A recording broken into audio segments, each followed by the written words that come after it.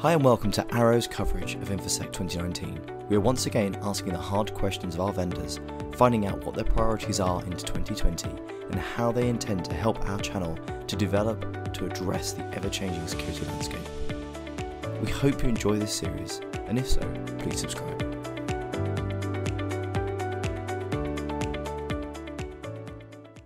We're back uh, with another podcastee, um, and we've got Rohin from uh, from Pulse Secure. Would you like to just introduce yourself and tell us a bit about yourself? Sure, Dave. Uh, thanks for having me. You're more than welcome. Uh, so, uh, Pulse Secure uh, is a secure access company. We are on a mission to provide unified secure access solutions. And the chief development officer responsible for their products and solutions. Oh, fantastic! So you actually are at the real cutting edge of, of this technology. Totally, totally. We lead the uh, secure access market. Uh, we are the number one in this market with uh, 20,000 enterprise customers today. So, I think a really good um, starting point to add a bit of context around our conversation is, I think secure access. Um, everyone remembers it. Who's anyone who's ever worked in an enterprise um, when they had VPNs and those horrible token things that used to change Yep. the um, the security access number you needed every 30 seconds and with with the move to the cloud and the move to cloud services what is the new role of Yeah. secure access Yeah, no, great question, Dave. I think if you look at how it has morphed, uh, the secure access uh, problem has morphed over the last few years. The applications are no longer in the data center, right? No. They are in multiple clouds. They are in a private cloud, they are in a public cloud, or multiple public clouds. So the resources are distributed. That's problem number one. The second problem is there are different types of users. There are employees, there are contractors, there are guest users. And the third dimension of the problem is really the devices. Right? say, You know, a user wants to use their choice of devices to get to these resources. So if you look at the three-dimensional problem, it's a very complex problem, right? And if you ask a CISO, hey, do you know from which user, uh, uh, which device is he using, and then what access resource is he accessing, and what is causing a breach? The most likely answer is no. We don't know, right? That is the complex problem it has morphed into, and that's what we have done as well to really transform our product portfolio into a secure access solution. So we are no longer a VPN company. We call ourselves a secure access company, where you see uh, we do device management, we do user management, we do access management, we do application availability, all in a unified solution. We do network access control, all in a unified solution. So that what happens is if you talk to a CISO, he has a single pane of glass and a policy control where he can decide what users, what devices, and what resources can be accessed Yep. and what not. That's how it has morphed into. and and that is a unified platform whether you're using on-premise resources whether you're Totally. going off to you know, office 365 or salesforce or Yeah, totally, totally. Perfect. So it's a unified platform. So customers uh, who have traditional deployments, they continue to use the same platform, but that has been extended. Uh, so your resources can be across clouds. Your devices can be network devices. It can, you know, devices can be anything, right? But we we support mobile devices, access from mobile devices, access from desktop devices, and so on. And the users can be any, right? There is a centralized policy engine from where you can set the policies. That's why we call it a unified secure access suite. Uh, if you go to our website, that's what we predominantly talk about. Fantastic. So, as far as the unified secure access suite is concerned, I mean, what sort of um, customer use cases, what kind of like, real world implementations? I mean, can you talk to? Because often when we talk about this, it sounds quite abstract, talking about the technology and Yep. and secure access. But can you give us some sort of really nice um, examples of where this has sort of been utilized and sort of some customer success stories? Yeah, so we do have uh, 90% of Fortune 2000 customers today with us. Wow. Uh, we have 20,000 enterprise customers, and a lot of is channel-driven, MSSP-driven business, right? Uh, so if you look at the typical use cases, most of the customers are in hybrid IT or multi-cloud IT, right? That's the typical deployment, and uh, they all have desktop devices, mobile devices, Android, iOS devices. Yep. All of them have uh, guest users, employees, and so on. Uh, so the typical use, use cases are all around access from various types of devices, uh, availability of applications, uh, ability to control the network devices that are accessing all these applications and resources, providing visibility and compliance and governance. Those are the biggest use cases for us. So, walk us through um, a customer journey. So, essentially, what would be a customer's problem definition? What what kind of um, uh, so you know the, the, the, podcast that we, we run is Yeah. designed to essentially help our partners to be able to take a, a story and go and talk to a customer Sure. about it. So, Sure. what kind of things would a, a customer look for for secure access issues? Because uh, maybe I'm being a bit naive, but I mean, from from my perspective, I look Sure. at sort of the services that that I use on a daily Yeah, basis, and I log into them via my username Sure. and password, and, Correct. and and that's it. Totally. So. Where would when would you start to wrap this layer of, Yeah. of extra sort of connectivity security into Yeah, it? so totally. If you take it, it all starts with simple use case like hey, you want to access applications that are in your data center Yep. or access applications like Office 365 which are on a cloud. Then what happens is you do a single sign-on. Uh, there is uh, login capabilities that are there is automatic integration into the Active Directory Yep. where you are seamlessly accessing those applications. It starts off with that, but when you then get into a uh, monitoring the network and understanding the network infrastructure, then what happens is you want to know what all devices are accessing various resources, right? We call it dev- device profiling, device visibility, right? It expands into those use cases. Then it expands into other use cases like application availability, like you are accessing those applications. Are those applications highly available?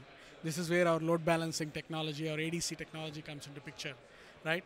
But then, if you want to have fine-grained policies around device management, what type of devices you want to manage, and you want to enroll the devices and so on, then you get into a device management solution. So it always starts with one use case, but it always is a land and expand journey. As a customer starts using our access solution, accessing different applications, then it gets into okay, now I need to understand what devices are getting accessed. How do I put policies and control around uh, devices? So it you know expands into a complete Yeah. secure access. That's really uh, interesting. I, suite. I must Yeah. admit, I wasn't expecting you to say that the, the suite of products was that wide. Yeah. I because I mean, quite wrongly, obviously, I've always had Pulse Secure down as being sort of a VPN endpoint almost. Yeah. There's little boxes that you see in the data Right, center that provide that ultra secure sort of VPN out Right, to out to right. endpoints. yeah. I didn't realise the portfolio had expanded, or maybe it's always been there yeah. to do all no, it has expanded quite a bit over the last few years. I mean, uh, Yeah.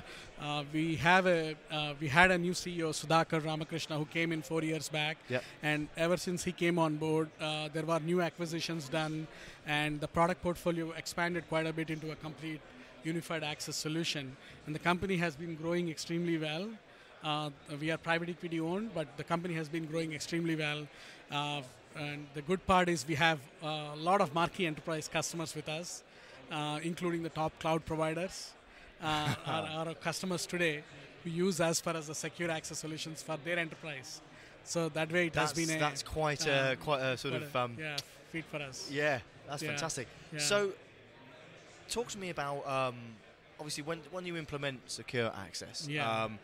It, it can be it's quite a complex thing to try and understand the use of a particular endpoint, the use of that particular connection. Right. So how do you implement things like zero trust and, and, and make it so that it actually doesn't end up breaking everything in, in the in the way in between sort of the end cu- well the user of the service and the service itself. Yeah. So what we have done, uh, we recently launched our Zero Trust SDP software-defined perimeter solution.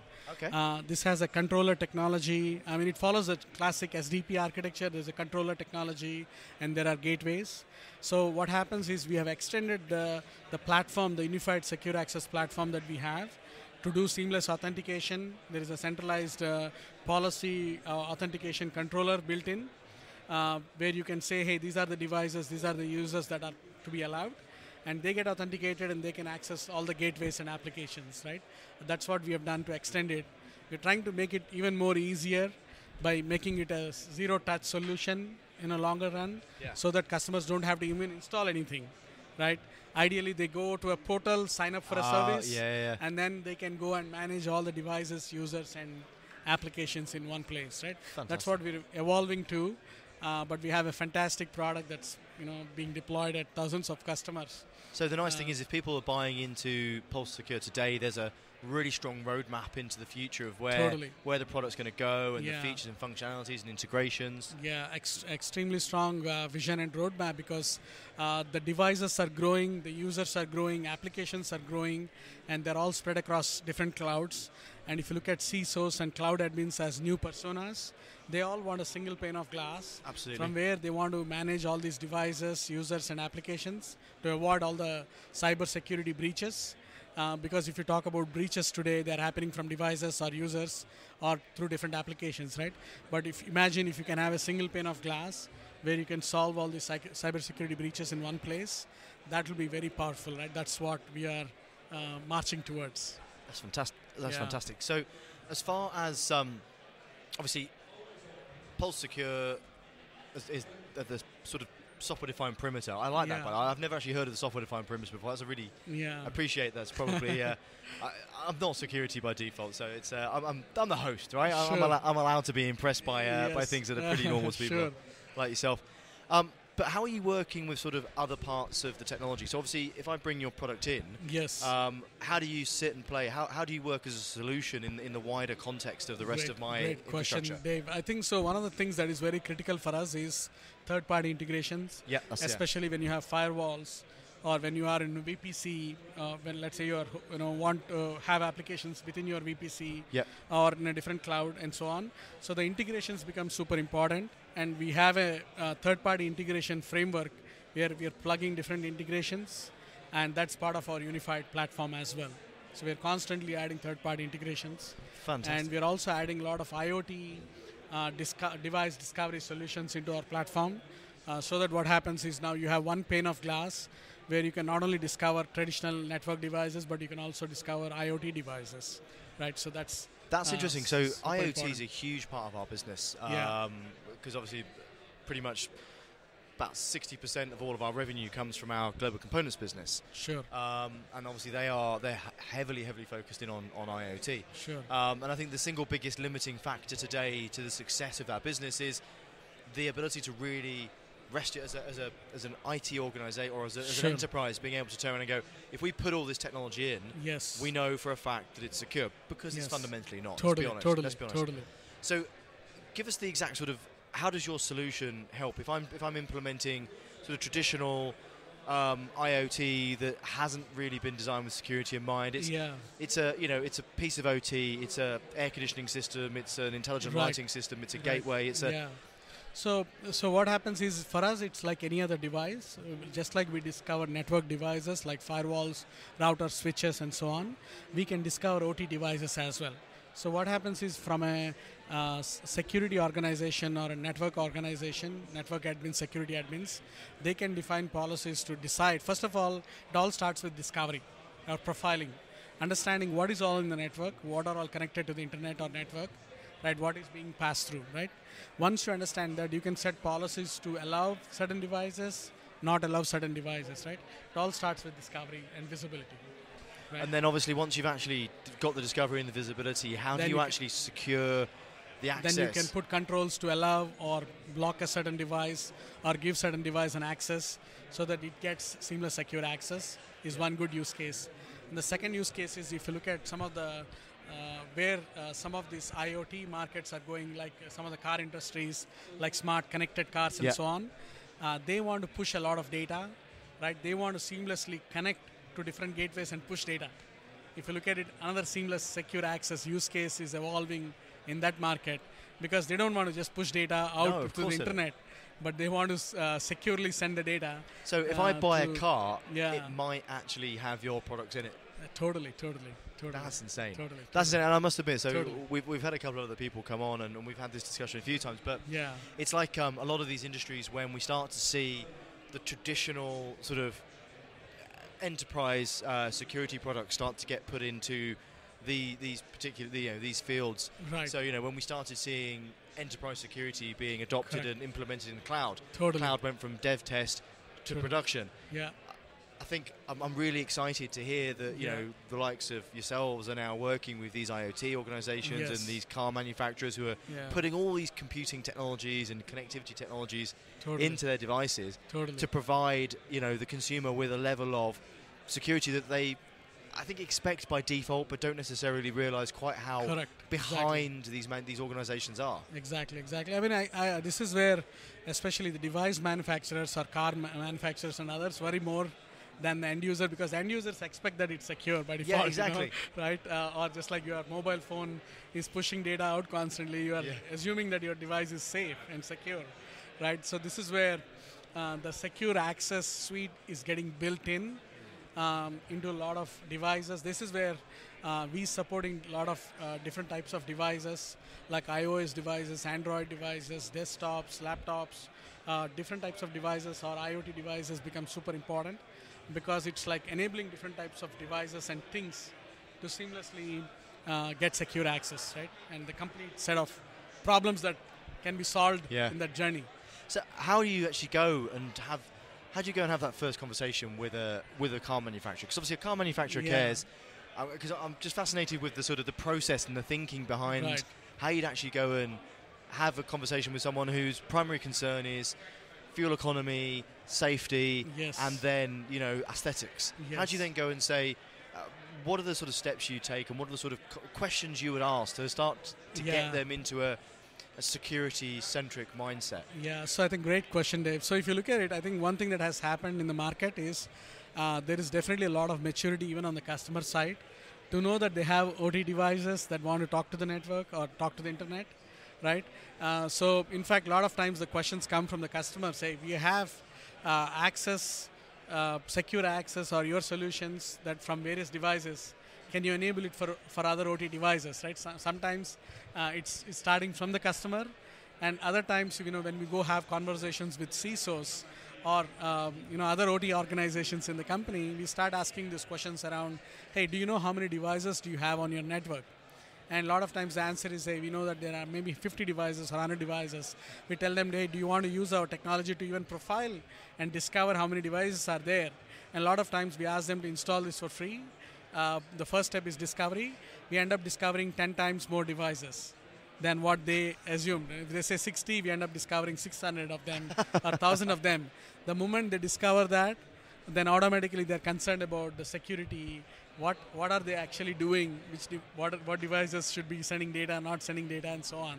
So that's uh, the discovery part, uh, which we also call as our profiler. That has become a critical piece in terms of the landing. So you can Uh, actually use that discovery part as a sales tool in itself. Yes, totally, totally. Fantastic. and uh, we, we a lot of times we give it for free for customers to try it once they try it they get hooked onto the whole secure access suite because they now know that there are a lot of uh, they want to understand this three-dimensional problem that we're talking about Yeah. devices users and resources now they want to solve it Fantastic. The Yeah. ultimate land and expand. yes totally totally Fantastic. Well, look, thank you ever so much for coming on. sure Really appreciate it. sure Really thank you very much dave yeah thanks very much for Thank you. having me take care Cheers. thank you bye-bye Thanks for listening. We hope you enjoyed it. Please come back again next week for the next instalment of our exciting coverage from InfoSec 2019. See you then.